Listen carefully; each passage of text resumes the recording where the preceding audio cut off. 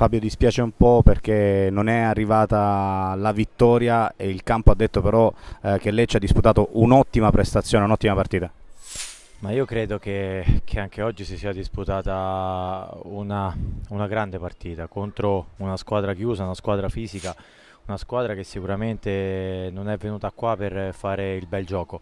Eh, c'è amarezza, c'è rammarico perché volevamo, volevamo vincere questa partita davanti, davanti nostro, al nostro pubblico e, e, ci tenevamo tanto. Purtroppo non è arrivata la vittoria, ma credo che, che la squadra stia lavorando molto bene affinché poi i risultati possano arrivare. Ancora un tuo gol, ma soprattutto un gran gol su calcio di punizione, eh, aveva dato la svolta alla partita, poi è arrivato il pareggio, ma eh, comunque un ottimo Lecce. Sì, un ottimo Lecce, c'è il rammarico perché potevamo portare a casa i tre punti come, come a Benevento. Benevento c'è stato un rigore dubbio, oggi sul 2 loro c'era un fallo netto a mio avviso, ma avviso di tutti che solo l'arbitro non ha visto e ci ha, ci ha tolto questa diciamo, l'emozione di portare a casa i primi tre punti di, di fronte al nostro pubblico. Comunque una prestazione che incoraggia questo Lecce. No, se giochiamo così ci riprendiamo quello che ci hanno tolto oggi. Eh, la squadra c'è, ha fatto bene, dobbiamo dare continuità, dovevamo dare continuità a quello che abbiamo fatto a Benevento e oggi penso abbiamo dato la giusta dimostrazione.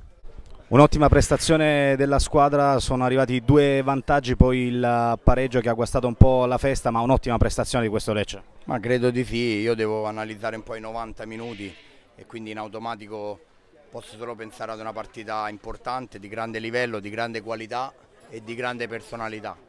È normale che noi siamo una neopromossa, dobbiamo ancora migliorare determinate cose, però è, è fuori discussione che il secondo gol è irregolare e quindi la squadra è amareggiata per questo, è, in maniera incredibile non si può non fischiare il fallo del secondo gol.